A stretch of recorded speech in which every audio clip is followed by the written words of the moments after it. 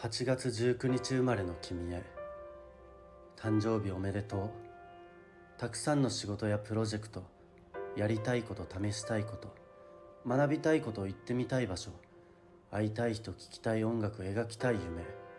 今の君は両腕で抱えきれないほどたくさんの願いを持っている。全てが叶うといいね。君にはその力があるよ。無邪気に時には頑固に。そのたくさんの願いのために走り回っている。だけど心では分かっているかもしれない。大切なものは一握りだって。君はその大切な夢のことだけは誰にも話そうとしないんだ。自分の中でじっと温めている。それでいいんだ。そうでなければいくつもの扉を越えることはできない。タイムカプセルのように君の心に埋まったその夢はカプセルの中で確実に育っている。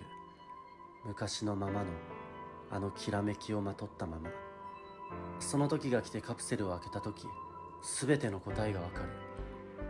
今はとにかく忙しい君だけれど人生の持つ意味が理解できるだろう。誕生日おめでとう。一緒に答えを見つけるその日まで僕は君と共にある。